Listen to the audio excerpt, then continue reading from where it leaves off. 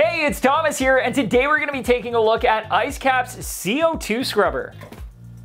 If you want a simple, compact, and easy to install CO2 scrubber for your protein skimmer with a mounting bracket to hang it on your tank or sump that will help you in that battle against chronically low pH and help get your pH up to that sweet spot to accelerate the growth of your corals, then check out IceCap's CO2 scrubber. Managing pH in our reef tanks is important for maintaining coral growth. It's no secret that a low pH makes it difficult for corals to grow, while higher pH levels around 8.3 can result in accelerated coral growth. One of the most common hurdles to maintaining a higher pH level is CO2. Atmospheric CO2 in your home finds its way into your tank through gas exchange, and one of the largest contributors to your aquarium's gas exchange is your protein skimmer, making it a great place to take action.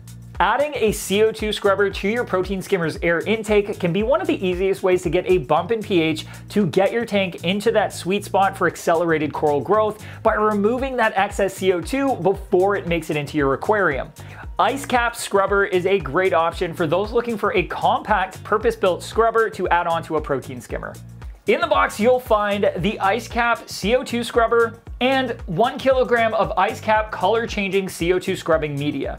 It comes in three sizes, a small, a medium, and a large that hold 1.2, 2.2, and 4.4 pounds of CO2 absorbing media respectively. The small unit that I've got here is pretty compact at roughly 4.5 by 4.5 by 6.5 inches tall, not including the hanging bracket, which makes it a good option for nano reefers or anyone who wants to use a CO2 scrubber but is really tight on space. The large unit has a substantial capacity while still being reasonably sized, making it a good option for those who have a higher CO2 level in the room and go through CO2 media faster, or who just want to change out that media less often. To fill these CO2 scrubbers, there is a hatch on the top that's held on with a few nylon screws. Take it off, fill the chamber with media, and put it back on. I'm really glad to see that they used an O-ring here as well to make sure that the air is only drawn through the inlet port on the top. So if you run the inlet tubing outside or in another inline configuration, you don't get any bypass or air seeping in around the cover. Installing the scrubber is just a matter of taking the air intake tube off of the skimmer's air silencer and attaching it to the rigid tubing in the push connect fitting on the scrubber. IceCap included a push connector for both the air intake and output on the scrubber, so if you prefer to draw air from outside of the stand or want to run it in between the Venturi and air silencer or any other inline configuration, you can.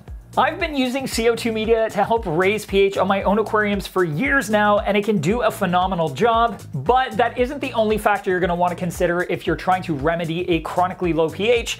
Thankfully, Ryan has an awesome master series on pH. You can check it out right here. Goes over pH in depth, the ins and outs of what will affect pH and what pH will affect, and basically gives you all the tools you need to try and figure out how to maintain that sweet spot in pH for maximum coral growth so that you can practically watch your corals grow day by day, which I mean, who doesn't want that? So go ahead, have a watch. This may be the solution, uh, but it might, you know, work better in conjunction with some other things too. So go, go get that pH. Go get that 8.3.